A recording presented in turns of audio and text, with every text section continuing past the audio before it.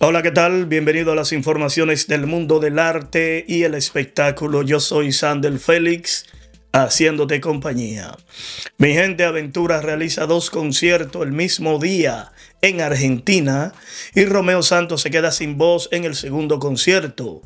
Aventura está realizando su gira mundial cerrando ciclos.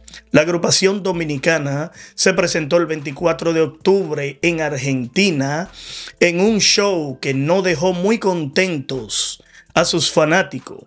Romeo Santos se quedó sin voz y tuvo que abandonar el escenario 40 minutos antes de finalizar el segundo concierto. Esto fue debido a que realizaron dos conciertos el mismo día.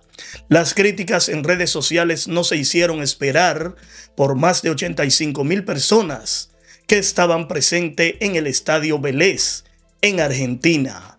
No olviden suscribirse, activar la campanita y compartir los videos.